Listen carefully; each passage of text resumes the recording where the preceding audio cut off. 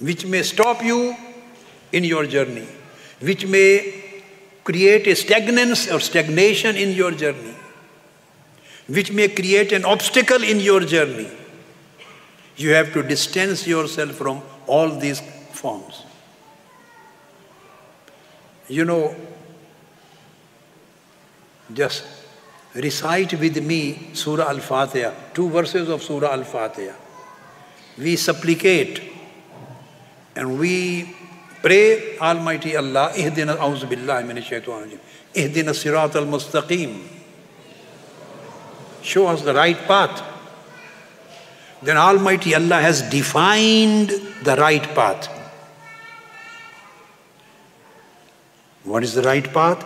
He said, Sirat al-ladhina an'amta alayhim.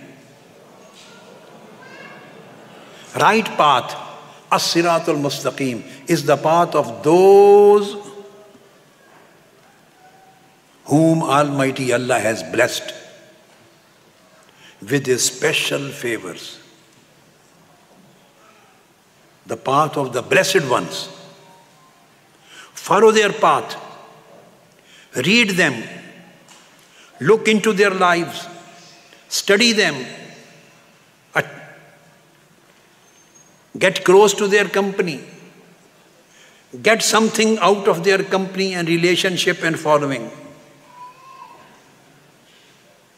This is their hadi, their way of life. More than 5,000 people used to sit in a majlis of Imam Ahmad ibn Hanbal.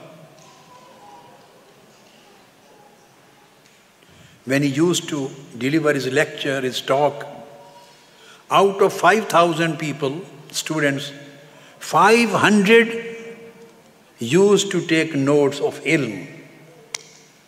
Used to take notes of ilm, knowledge which he was delivering, giving and 4,500 people, they used to just look at him, to see him.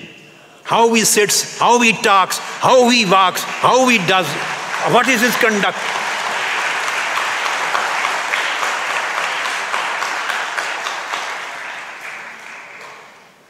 So 500 people used to write down his knowledge and 4,500 people used to register in their hearts his adab, his way of life, his manners, his conduct, his behavior.